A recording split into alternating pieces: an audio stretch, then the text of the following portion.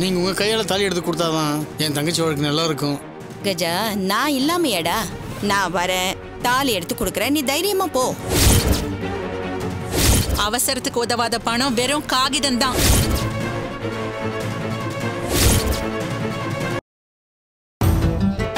ஐயா என்ன?